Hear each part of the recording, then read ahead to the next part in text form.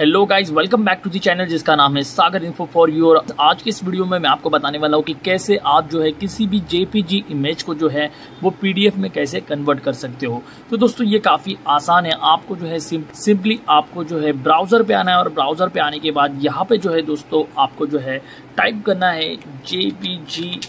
Convert in PDF तो आप देख सकते हो यहाँ पे जेपीजी कन्वर्ट इन पीडीएफ आ गया है। सिंपली आपको जो है इस पर क्लिक करना है और यहाँ पे जो है बहुत से साइट्स आ जाएँगे जहाँ से जो है आप जेपीजी को जो है वो पीडीएफ में जो है वो कन्वर्ट कर सकते हो। तो आप जो है इसमें से जो है को किसी भी एक को जो है वो ओपन कर सकते हो तो मैं जो है यहाँ पे जेपीजी इन पीडीएफ को जो है वो ओपन कर लेता हूँ यहाँ से जो है चूज़ इमेज फ़ाइल वाला जो ऑप्शन है उस पर आपको क्लिक कर देना है और जिस भी डॉक्यूमेंट को जो है आप पीडीएफ में कन्वर्ट करना चाहते हो उसको जो है यहाँ से सिलेक्ट कर लेना है उसके बाद जो है यहाँ पे जो है इसे ओपन कर लेना है जैसे ही आप उसे ओपन करते हो आप देख सकते हो यहाँ पे क्रिएट पीडीएफ का ऑप्शन आ जाएगा आपको जो है यहाँ पे जो है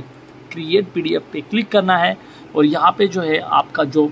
इमेज है, वो पीडीएफ में कन्वर्ट हो जाएगा और सिंपली आपको जो है यहाँ से जो है उसे डाउनलोड करके लेना है। जैसे आप डाउनलोड करोगे, आप देख सकते हो यहाँ पे जो है आपका पीडीएफ डाउनलोड हो चुका है और आपका जो है